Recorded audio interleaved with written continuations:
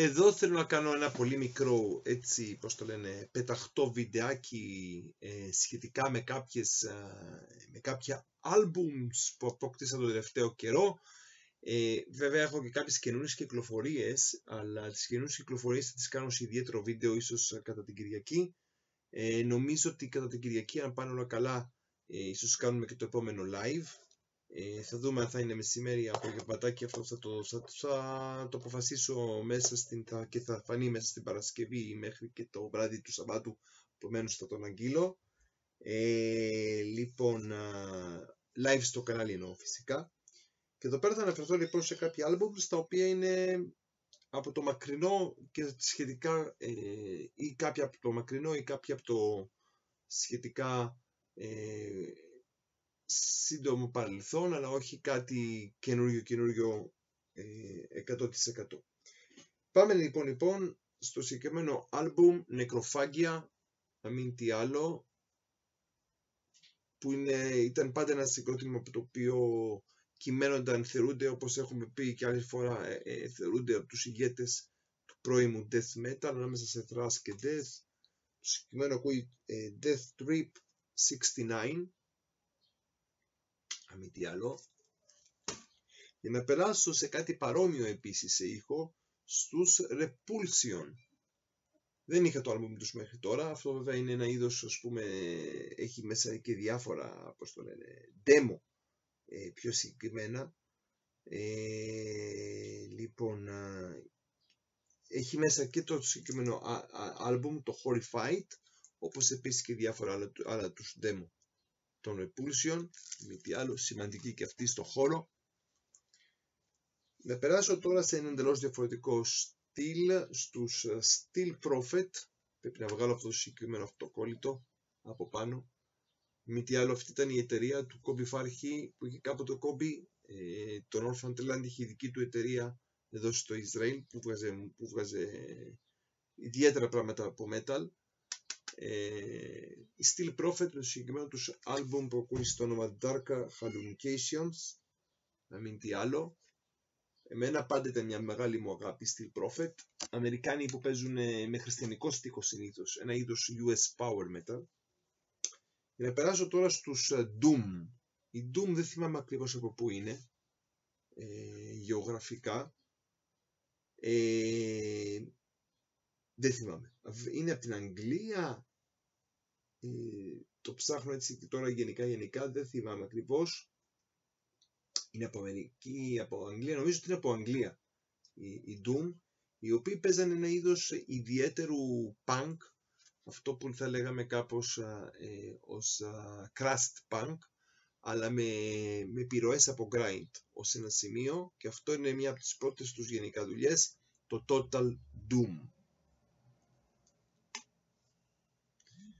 Πάμε παρακάτω σε ένα, μια μπάντα η οποία χάθηκε, έβγαλε μόνο ένα άλμπουμ, η Azamoth, Azamoth έτσι το διαβάζετε στα αγγλικά βασικά, ε, είναι εβραϊκή λέξη που είναι ατσαμότ. Έτσι θα πρέπει να διαβάζετε ο τίτλος. Ατσαμότ σημαίνει κόκαλα, οστά στα εβραϊκά. Η ατσαμότ, Αζαμόθ, ατσαμότ είναι από το Ισραήλ, από την Ιερουσαλήμ συγκεκριμένα, βγάλανε μόνο το συγκεκριμένο αυτό άλμπουμ και όπως καταλαβαίνετε παίζουν black metal. Το συγκεκριμένο άλμπουμ που ακούει στο όνομα Eternity και είναι καταπληκτικό.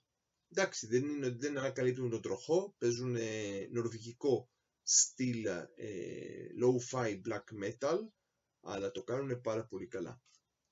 Αυτοί ήταν από την Ιερουσαλήμ και χάθηκαν εντελώς μετέπειτα. Να περάσω τώρα στις ΗΠΑ στους Acheron, Άχερον εγώ τους τους αποκαλώ περισσότερο, βέβαια Άσερον θα έπρεπε να διαβάζετε το όνομα στα αγγλικά. Ε, λοιπόν, οι γνωστοί που κυμαίνονται βασικά στον χώρο του death metal αν και έχουν στοιχεία από black, περισσότερο οικαστικά, σατανιστές συγκεκριμένοι, με το συγκεκριμένο τους άλμπουμ Satanic Victory. Και να περάσω σε ένα πανεμφερή συγκρότημα από τη Γερμανία, κάποτε τους νόμιζα Αμερικάνους, αλλά είναι Γερμανοί, τους Blood, Λοιπόν, και οι οποίοι είχαν μάλιστα και μέλος ε, Έλληνα μέσα και αυτή death metal με κάποια θράστα στοιχεία στον ήχο τους. Ε, το συγκεκριμένο λέγεται Gas Flames Bones και μη τι άλλο είναι λίγο controversial γιατί μιλάει για γραμμανικό συγκρότημα που όταν βγήκε το album και μάλιστα Gas και Flames και Bones και είχε εδώ πέρα εικόνα από τα στρόπεδα συγκεντρώσεως ε, αν και οι τύποι από ό,τι κατάλαβα δεν έχουν καμία σχέση με, με, με ναζισμό κτλ. Ε, okay, η Blood, οι οποίοι είναι ιδιαίτεροι, ιδιαίτεροι στον ήχο τους. Και να περάσω σε μία, αυτή ίσως είναι οι δύο κυκλοφορίες οι οποίες σχετικά, νομίζω ότι είναι σχετικά πιο καινούριες. Η πρώτη κυκλοφορία βγήκε το 2021 και είναι η επαναφορά των πολύ καλών Deathsters Ολλανδών, αν δεν κάνω λάθος, των Plebondomized, οι οποίοι ε, επέστρεψαν αυτό το πολύ πολύ ωραίο άλμπουμ που ακούεις στο όνομα ε, Pain Resistant Suffering. Πάρα πολύ καλή. Το δικό του στυλ. Και εδώ πέρα το τελευταίο συγκρότημα που θα αναφερθώ τώρα εδώ πέρα είναι το κάτι άλλο. Το κάτι άλλο. Δεν τους ήξερα καν.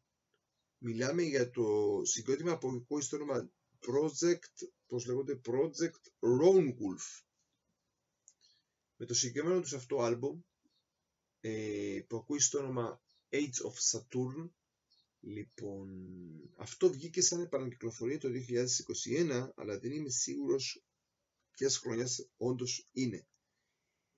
Πάντως οι τύποι παίζουν US Power Metal σε στυλ που θυμίζουν Iced Earth εποχής ε, Tim Owens. Άμα καταλαβαίνετε τι εννοώ αλλά το κάνουν πάρα μα πάρα μα πάρα μα πάρα πολύ καλά σε σημείο τέτοιο που λες wow, τι είναι αυτό.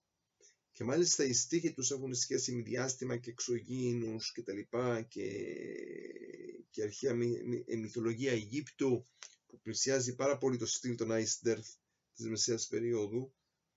Ε, άμα καταλαβαίνετε τι εννοώ. Λοιπόν, ε, και είναι καταπληκτική. Δεν έχω ψάξει καν να δω από πού προέρχεται το συγκρότημα, ε, από πού είναι. Μάλιστα εδώ πέρα μας λέει ότι το Edge of Saturn είναι ένα original sci-fi concept. Ε, Οκ. Λοιπόν, το οποίο προέρχεται από, από ό,τι κατάλαβα, από μια συγκεκριμένη, πώς το λένε, δουλειά.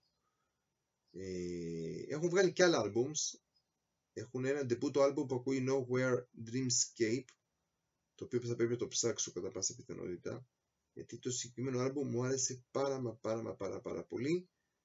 Ε, ίσως, ίσως το album να βγει και το 2021 όντως. Ε, λοιπόν ε, από ό,τι κατάλαβα και εδώ πέρα από ό,τι διαβάζω δηλώνουν αντιφασιστές μπλα μπλα μπλα Αμερικάνοι κατά πάσα πιθανότητα Αμερικάνοι και είναι το κάτι άλλο. Το κάτι άλλο, το συγκεκριμένο, επομένως νομίζω ίσως είναι και το δεύτερο τους full length, αν δεν κάνω λάθος λοιπόν. Ε, Project Ron Wolf.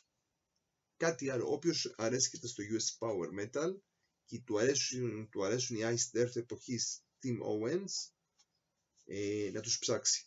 Και όχι μόνο εξαιτίας του Tim Owens, όπως λέω της αναφοράς των Ice Death, που υπάρχουν πολλά κοινά στοιχεία με τι άλλο στον ήχο τους, γενικότερα να τους ψάξει γιατί είναι καταπληκτικοί και από μόνοι τους. Αυτά για την ώρα από το Ισραήλ από την Ιερουσαλήμ. Stay metal και stay heavy.